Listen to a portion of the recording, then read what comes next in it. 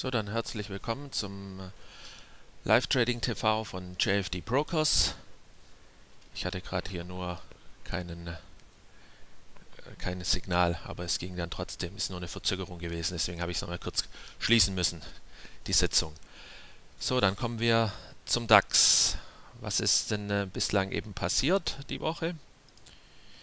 Am Freitag war hier ein Long Setup besprochen worden mit einem Kursziel von 10.900 Punkten etwa. Das wurde ja erreicht. Am Montag habe ich dann hier eben noch folgendes äh, Szenario dargestellt und veröffentlicht im Video und auch im, im, im Chat, dass hier das Kursziel bis hier relativ sicher gewesen ist diese Bewegung bis äh, knapp 11.000 Punkten eher vage, die muss, hätte nicht stattfinden müssen, aber eben dann von hier aus direkten Abprall. Und wenn man jetzt hier an dieser Marke habe ich auch nichts geändert, die ist ja wirklich wieder punktgenau rangelaufen. So, das ist erstmal Vergangenheit gewesen. Und jetzt gibt es eben, heute habe ich eben noch nichts vorgestellt, weil halt das viel zu vage ist, was der Markt macht.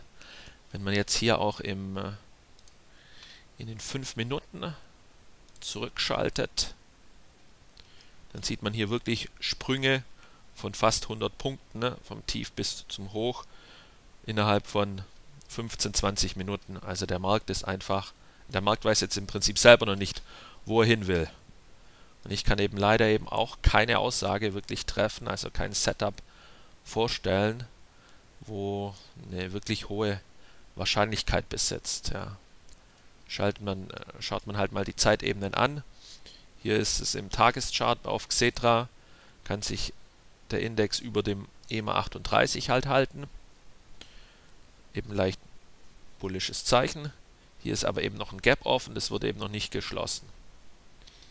Aber er ist eben weiter unter der ehemaligen und halt auch, ähm, ehemaligen dominanten Abwärtstrendlinie weiter. Das ist jetzt wieder negativ. Also hier schenkt sich der Index sozusagen, oder hier haben eben die Bullen und Bären eben auch keinen wirklichen Vorteil herausgearbeitet. Im äh, 4-Stunden-Chart kann man im Prinzip eben auch keine klare Aussage treffen. Und hier ist eben noch weiter eben unter dem EMA 10 und unter dem unter der Rainbow Unterkante. Also hier ja, ein Gap Close bei 10.785 etwa. Könnte man noch auf dem Radar haben, aber wenn man jetzt eben hier sieht, die letzten Kerzen,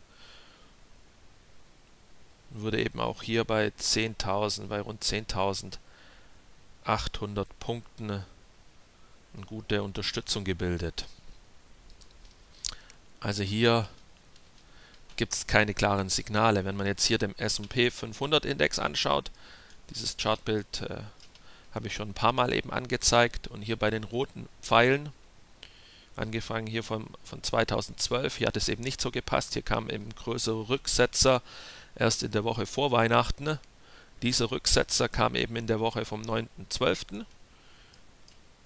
Dieser eben vom, vom 8.12. Und aktuell haben wir eben auch die Woche, ist es 7.12. Also allein von der Saisonalität könnte eben diese Woche eine Bärenwoche werden noch. Im Dow Jones Index ist ja diese Marke, die schon seit Ewigkeit mitläuft, ähm, nicht überwunden worden, auch nicht in der letzten Zwischenerholung. Und aber hier jetzt ein klares Signal, das letzte lief eben nicht hier beim äh, Dow Jones ganz in den Zielbereich. Beim Nasdaq und beim S&P 500 lief es exakt hier an den EMA 200 hin, beziehungsweise beim, beim Nasdaq lief es, was sich von Setup eben vorgestellt hat, direkt in die beiden Zonen rein, in die Korrekturzonen. Aber auch eben hier ist aktuell weitere Kursverluste möglich oder eben es hält auch hier auf Tagesbasis die Rainbow Oberkante.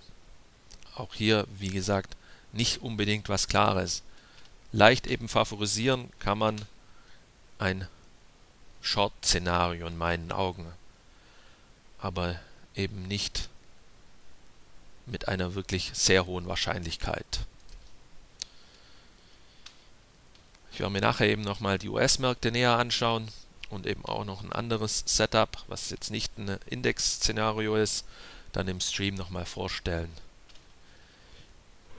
Aber das war es jetzt erst einmal. Danke fürs Zuhören und wir sehen, hören uns später wieder.